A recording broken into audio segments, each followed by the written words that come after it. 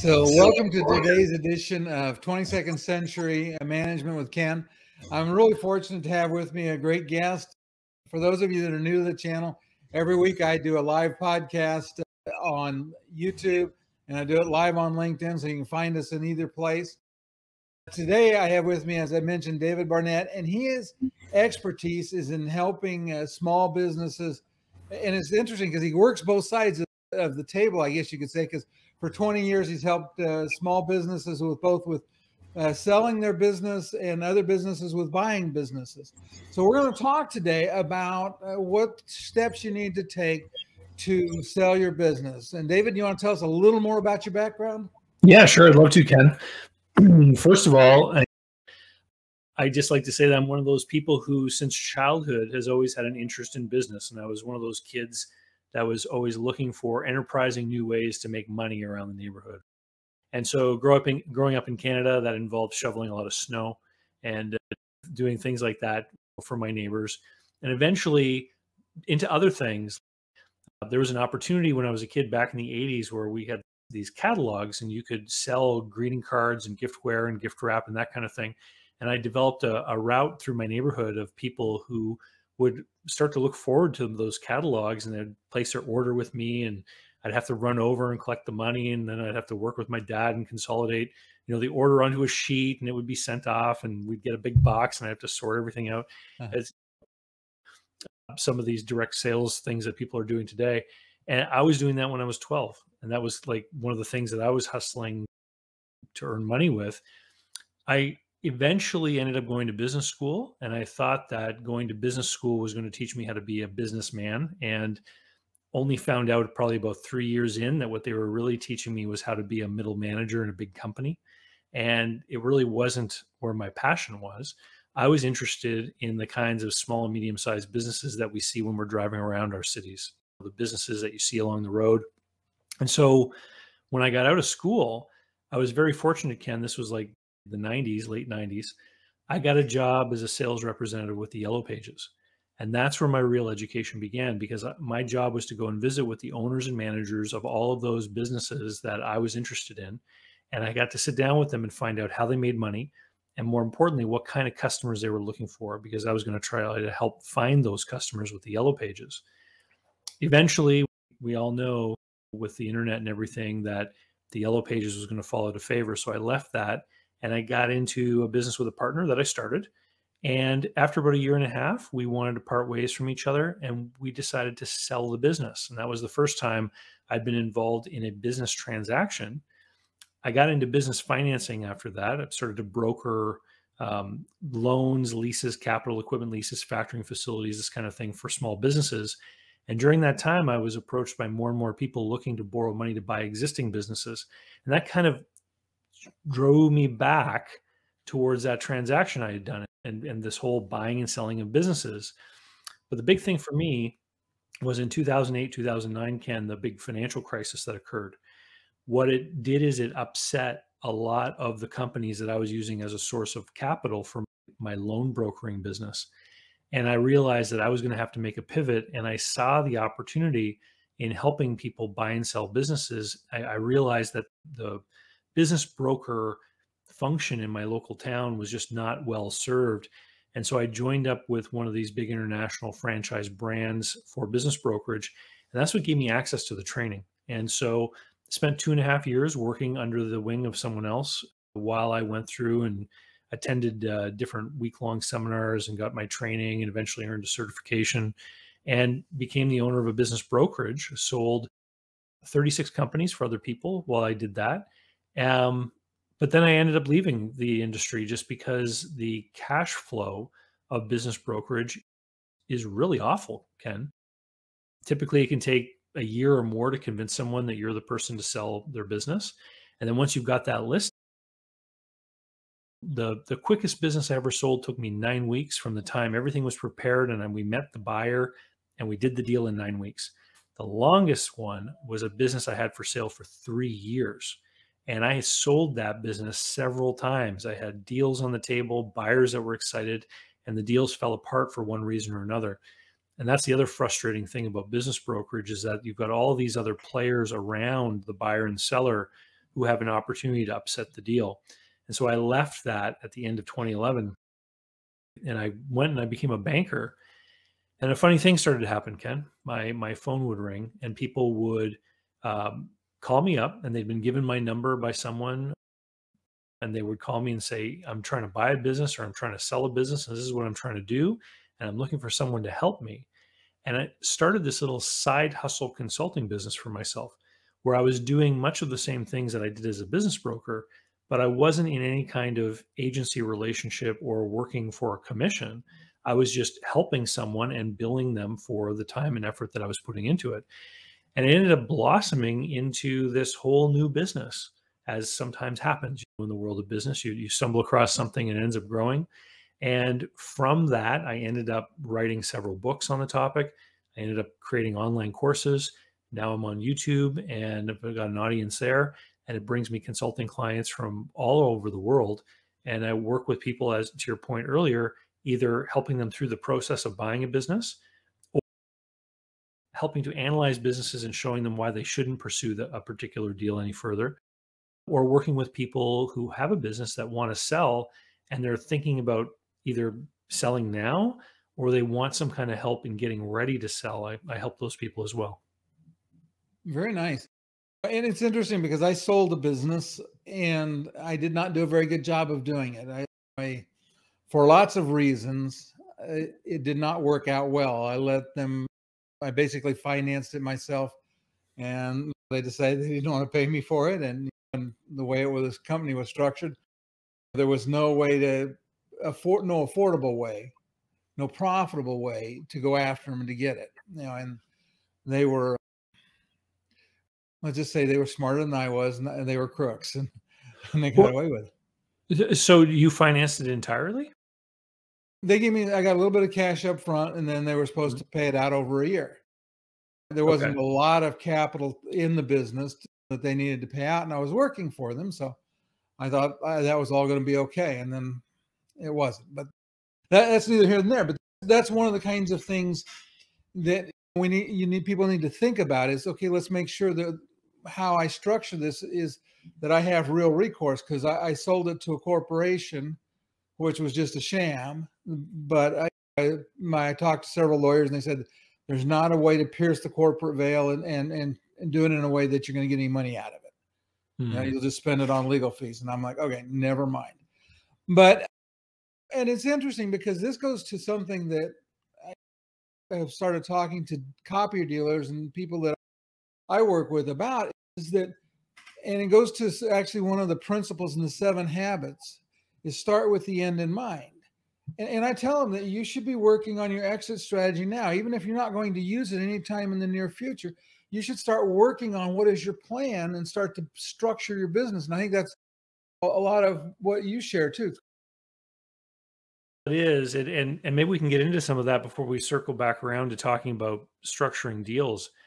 One one of the commonly held misbeliefs among beliefs among business owners is that when they reach a point where they want to sell that they'll be able to sell their business and that isn't actually true your business is the thing that has to be prepared for so you could decide to sell your business but if your business isn't prepared you're going to have a really hard time selling it or you're going to have to maybe agree to some things that you don't want to agree to. So one of those things can happen. And I'll sometimes get pushback from people who will say, I don't have time to work on getting my business ready for sale. And, and here's what I would say to those people is that the things that make a business ready for sale are things like systems, policies, and procedures, being organized, being transparent in your bookkeeping and record keeping and, and all that kind of stuff these things make your business more sellable, but it also makes your business, number one, more pleasant to operate. Number two, easier to operate. And normally, number three, more profitable. So even though you're not on the cusp of selling, you could end up enjoying a much more pleasant experience as a business owner and earn more money by investing the time in getting your business into a more sellable state. The fourth one which is a stretch for some businesses. But the fourth one is if you do a really good job with this, Ken, you could actually end up in a position where you could have somebody step in and do a lot of your leadership functions and you could move into a state of semi-retirement or be doing certain things in the business but doing them from someplace in Florida for example if you're in a colder state. And so the advantages to working on getting the business ready for sale are huge and really not only are going to end up to a better deal and a better price but just make your whole experience more pleasant. It's interesting that in the um, copier industry, one of the key factors is locking in recurring revenue. Mm-hmm. And I spoke to somebody the other day, and this gentleman, he was not uh, tying his service contracts into his lease agreement. And I said, okay, you need to change that. And you need to make sure that you use five-year leases and that you that the lease includes the service payments. You don't want to pre-fund it, but you want to take that because you can take that to the bank, you can take that to to the market, and it adds to the value of your business. A, a contract that's not tied to a lease is really no worth no more than what's remaining on that current year of that contract, and it's things like that that too many people overlook. Yeah, there's a huge there there can be a huge difference in the valuation between a company that has recurring revenue versus one that's more of a one-off revenue basis. When we look at small businesses, what we typically do is we look at the performance of what's going on in that business today and the the that number, the cash flow that's being created, that number is going to determine the price. The next question that any buyer is going to have is they're going to say, Will I be able to continue that cash flow under my stewardship once this seller leaves? Yeah. And so that immediately brings to mind the question of are the customers going to stay? And if you have your customers in these contracts, for example, then you remove a lot of that hesitancy. People right. know that revenue is going to be there in a recurring fashion. And so the reasons not to do the deal start to fall away. The absolute extreme opposite end of this would be something like a construction company where they're constantly bidding on projects and chasing after deals and in those businesses, the number of deals that have been signed for the coming year can have a huge impact on the price someone's willing to pay. Yeah, that uh, because that's revenue that's guaranteed for the next you know few years, however long the project's. Exactly, but the buyer knows that once those jobs are done, it's going to be up to them entirely to go and find and bid those new projects, and and this is what creates a little bit of anxiety, a little bit of doubt. Ah, I hadn't thought about that. And it's interesting too, because I had a customer that I supported for one of the manufacturers, and the owner, his plan was he was going to leave the business to his son. I don't think they ever talked about that fact because the son was a whole lot more interested in starting a, a, pizza place, and I think that was because there were lots of young waitresses there. Neither of them were very good businessmen and he had several opportunities to sell the business while it was viable. And mm-hmm. when he mm-hmm. finally decided to sell it, the people that were interested said, "Why bother?" Said, "You don't have a business left. All of your customers are gone. We've taken most of of what made you worth anything. Is we already have that. We, we don't need you now."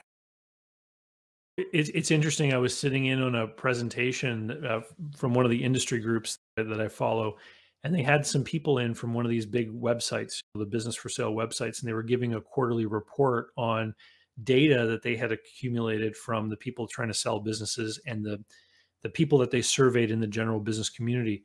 And one of the interesting factors, of course, with what happened in 2020, the lockdowns, the pandemic, and all that kind of thing, it's thrown a wrench into a lot of people's aspirations. A lot of businesses have, have lowered performance because of that in hospitality and other industries. Some businesses have done better. But what was interesting is that there was this contingent of business owners who said that they had planned to sell their business, but they weren't going to because the business was working too well, meaning that they were benefiting in some way from all of this stuff that has changed. And it struck me as, as funny because if a business's performance is improving year over year, that's the time to sell because that's the time when you've got a great story that buyers are going to be interested in. You have a growth story. And to hang on to it because you want to enjoy those profits and then later when things start to go into decline, you're going to somehow go to market. I can tell you if I've got a business for sale with years of declining revenue and sales, that's when you get into one of these circumstances where the terms aren't great. Buyers are motivated by that question what is the cash flow and will it continue? And if you're showing declining cash flow year over year, then the question is what's going to make it stop? And if it's going to be my efforts that make it stop, why do I need to pay you for and I've had many sellers who will like promise, oh, this thing's going to change. This will improve. If you do this, will happen. But again, why should a buyer pay you for work that they're going to have to do? They're going to pay you for the business that you deliver. So we want to make sure it's in as good a condition as possible. Yeah, I, I would agree 100% with that. Uh, so let me ask you, let's go back to, to the beginning. When do we think we should start planning to sell our business? When you start if you start a business and you get to the point of being able to pay yourself a fair market wage for the work that you're doing. So if you get to the point where you're taking home the amount of money you would earn doing that kind of work for somebody else now you're at the point where yeah you have a business but i call it owning a job because you've got just that money. As soon as you hit that point if you're going to do better than that now you start to get into the space of actually owning a business because you're going to be earning the money that your labor is worth plus some profit over and above. When you hit that point, you have to start thinking about an exit. A lot of people, I hesitate to tell people think about your exit before you start because some people will get into starting something and they'll never hit that. And they might have to make several pivots to get to that point of having that cash flow and that profitability. Once you get there, then you have to start putting serious thought into what you're going to do to get out of this one day and who might be the ideal buyer if selling to someone else is your plan. Other strategies include hiring someone that is going to end up being the person that you sell to. There's all kinds of different ways to get out of business when it's time, when you decide you want to leave. Selling to a stranger actually is one that you can't control the timeline of. Believe me, that I've had businesses for sale for three years trying to find a buyer. And right. so if you have a life plan of some kind where you say, I want to exit at a certain point in my life, there are other ways that you can initiate on your own that can help give you more control over that timeline. Okay. Yeah. So you have some specific things that that that you, you think about? You know, one well, that comes to mind is an ESOP, but finding a buyer within the business is one. But you can also determine who the ideal buyer is going to be and then work with that party on some kind of plan that you can influence the timeline on. People who own businesses are often getting information, circulars, advertisements from business brokers. We don't have hard and fast numbers on the number of businesses that sell through brokers or not. But the best guess that I have based on talking to all kinds of different people in the industry is probably only about one in five sell with a broker. So the vast majority of businesses, excuse me, change hands. Sorry, change hands without a broker. And so what does that mean? It means we're talking about family successions. We're talking about identifying buyers within the business or selling to someone else in the industry. And it people will think of selling to a competitor, they'll think of a competitor in their own town. Oftentimes, the competitor you have in town is not willing to pay you top dollar. And this is because they feel a certain entitlement to your clientele. Think about it. If you just close down, they would probably end up with a bunch of that business. And so while they might talk with you about buying your business, secretly, their hope is that it just explodes one day, like it just closes for whatever reason, yeah. and they can pick up some of those clients. The person who's most likely to value your business highly is someone in your exact same industry, but in another market, the next county over, the next town over, next state over, because they're trying to grow their business and they're facing their competitors. And one of the easiest ways for them to grow is to acquire a business like yours. And if it's in a whole new market, they instantly grow their revenue. And then they might realize some kind of advantages on the back end as far as their costs or overheads.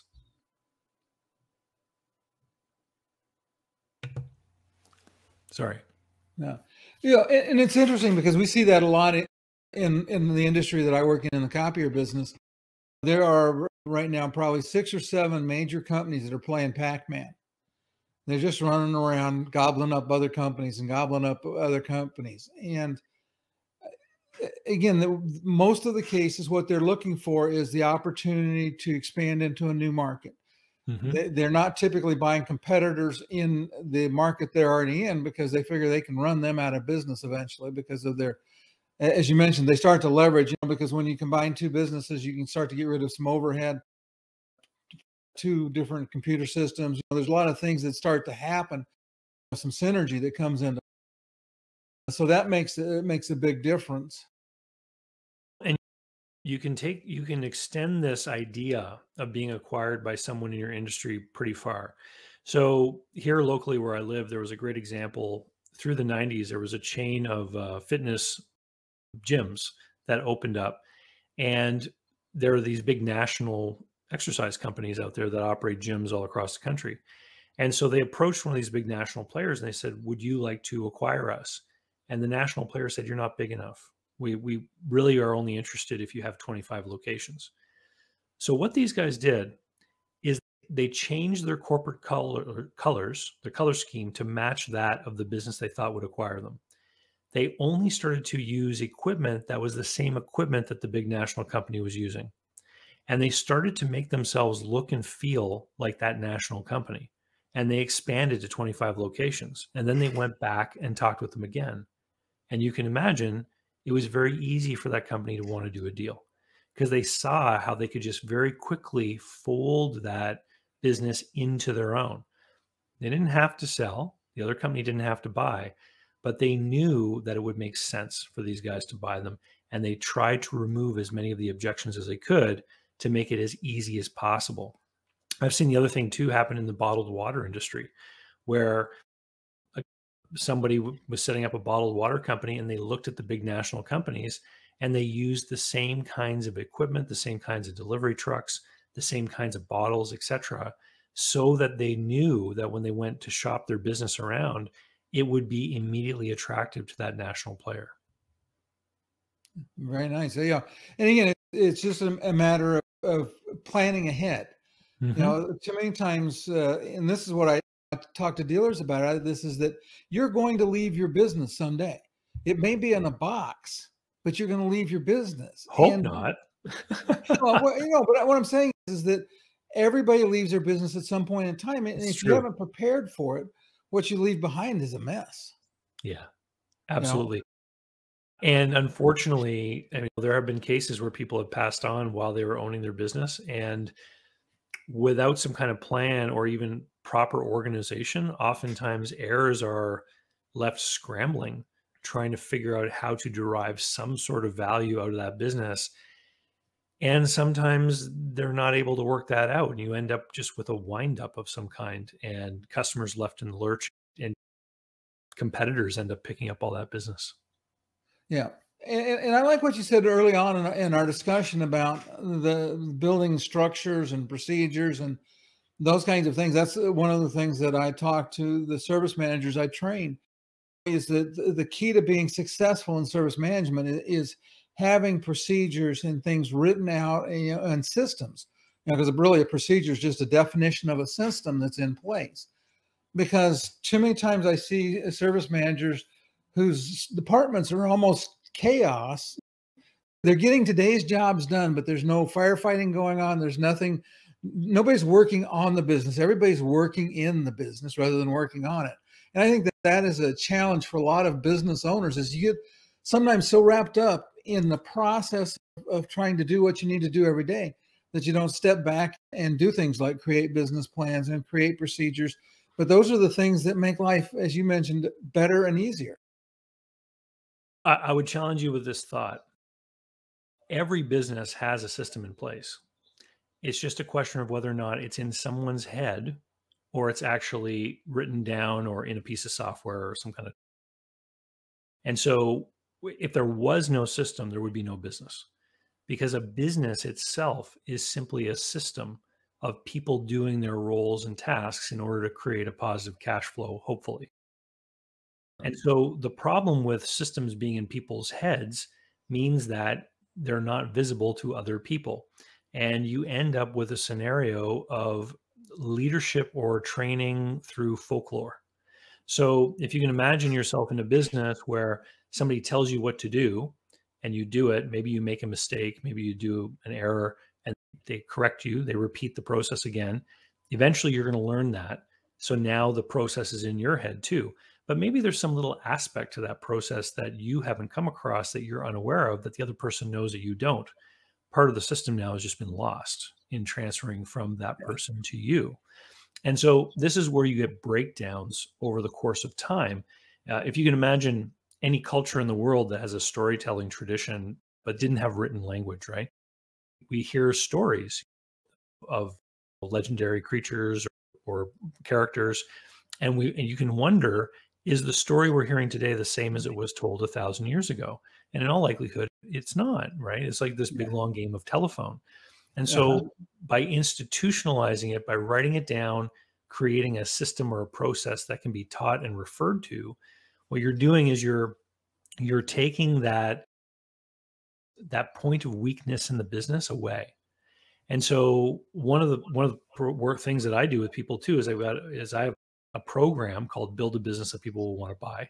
And this is what we do. We work on the goals of the owner then we look at what kind of business is going to be able to facilitate those goals. Then we start talking about what the org structure of that business in the future would look like. And we build a whole plan for growth within the framework of who does what and what the different tasks and responsibilities are, whole thing. What we often find when we go through that process is we will have these org charts of the business in the future and they'll imagine if I do five times the sales at some point in the future, I'm going to have these different people. And then we'll say, what goes on in your business today that those people would do? There's nothing identified because they're not doing certain things in their business today that they know the future version of their business should be doing. And the reality is, those are often the functions that prevent growth. I'll give you an example. I did this activity with a small business. They were in the sign making industry. And they, I asked them, what is your target for the year? Well, they didn't have it. And then after speaking with them and looking at their financial statements, what we found out is that they tended to do about the same amount of business every year. And so then I was like, how do you know this is what business you're going to do? How do you know that you shouldn't be looking for more business, etc.? Basically, what was happening in this business is when they got close to year end, if they looked like they were going to hit the same numbers as the year before, everyone just relaxed and was like, oh, good, we're going to hit our number. We're going to be okay. But how are they going to grow the business if they're just trying to do what they did before? In a big company, what we have is something called a, a hmm. what's our budget for next year? What's the sales forecast, etc.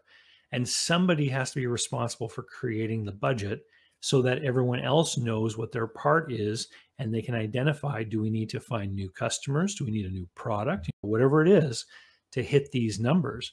And so without that planning function the business just can't grow because nobody's thinking about it.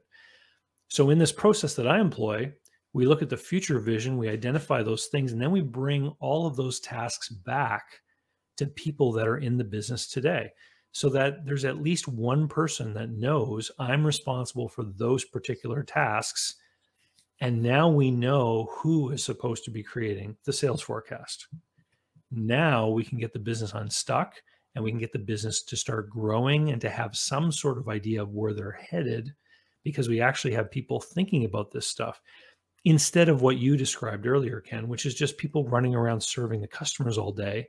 And then at the end of the day, do you want to work on this stuff? No, you want to turn on the television and crack a beer, right? That's mm-hmm. what people want to do because they're tired. And so it's about investing. When you talk with your retirement planner, they'll tell you you put money in today and let it grow.